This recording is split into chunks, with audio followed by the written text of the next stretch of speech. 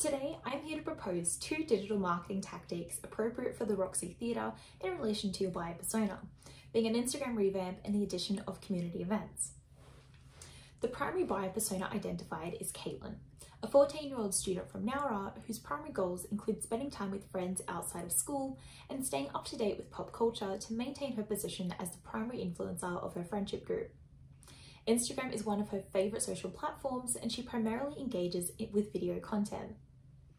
To recap the accompanying report, the proposed digital marketing objectives included implementing a consistent Instagram posting schedule, increasing social media engagement, and increasing the proportion of both user-generated and video-based content.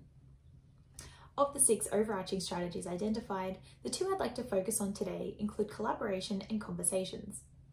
Together, these strategies will help the Roxy move away from being a promotional platform into a social one, while encouraging community building, the production of user-generated content, and two-way dialogue between the brand and buyer persona.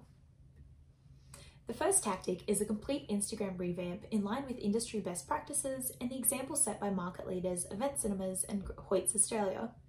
This tactic will address both strategies as well as objectives 1, 2 and 4. One of the biggest social media advantages is relationship investment. To develop and maintain a relationship with your audience, you need to produce content that is relevant and customized to your buyer persona.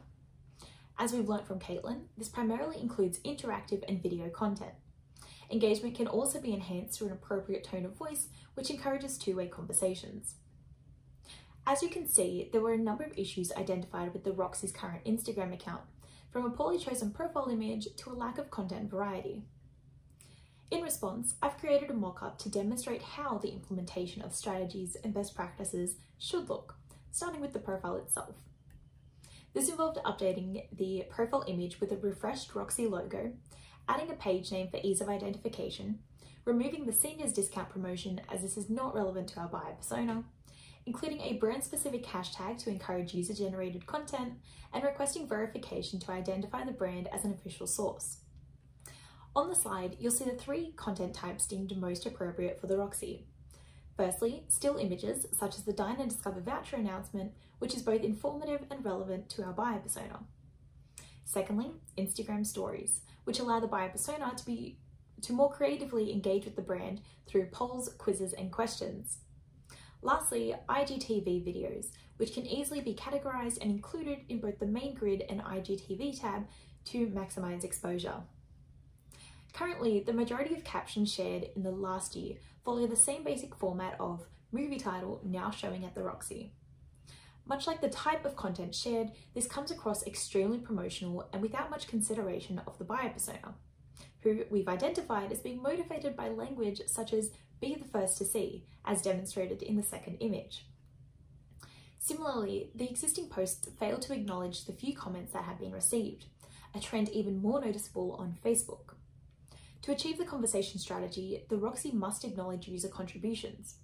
I've also noted that there is an absence of hashtag use throughout the profile, which is a key factor in increasing visibility and connecting to Caitlin.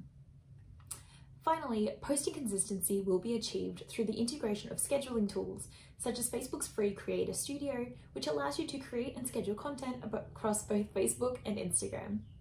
Otherwise, Sked Social and Later both offer great paid alternatives. The implementation of this tactic will positively impact both the collaboration and conversation strategies through fostering relationships, driving engagement, and building a strong brand reputation. Similarly, it will address the objectives through the incorporation of scheduling tools and an increase in engagement and video-based content. Finally, by sharing movie trailers via IGTV, there would be no need for Caitlin to leave the platform prior to purchasing tickets. Hence, she's more likely to stay on the platform and continue engaging with the brand. The second tactic is a live community event that will encourage increased engagement and the production of user-generated content. Hence, this tactic will address the collaboration strategy and objectives 2 and 3. For large and small businesses alike, there are countless benefits to hosting an event. You can showcase your product or service, create buzz within the community, produce exciting content, and generate increased engagement. As identified in our buyer persona, Caitlin's primary goals include spending time with friends outside of school and keeping up to date with the latest trends. And so, our tactic will achieve each of these through a special retro screening event exclusive to the Roxy. The event proposed is influenced by Greater Union's Chicks at the Flicks and Hoyts Australia's Girls Night Out, where on the first Tuesday of every second month, the Roxy will screen a cult classic film such as Pulp Fiction or Ferris Bueller's Day Off. Local businesses will be encouraged to apply to hold a stall on the night, and although ticket prices will be slightly above that of a standard screening, each will come with a free sponsored gift pack. I propose calling the event Roxy's Retro Night. The event will be initially promoted via Facebook through the creation of an event page, but will also be shared on Instagram as both a feed post and Instagram story.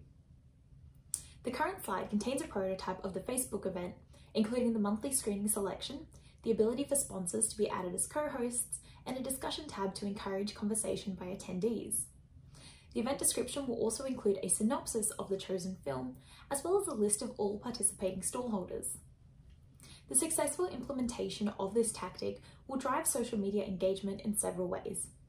Firstly, by promoting the event with film-specific hashtags, fans of the monthly movie will be targeted and exposed to the promotional material.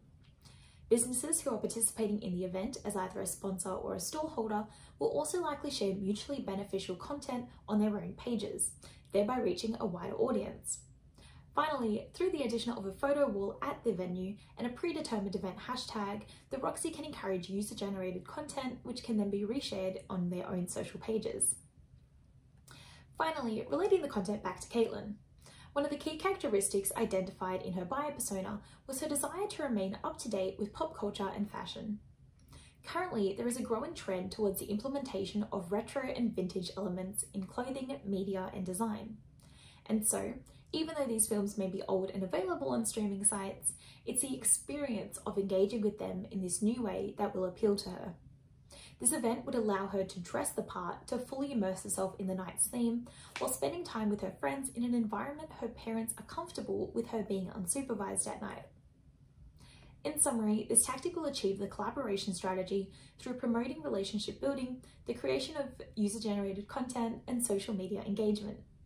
As a result, it will also contribute to both our engagement and user-generated content objectives.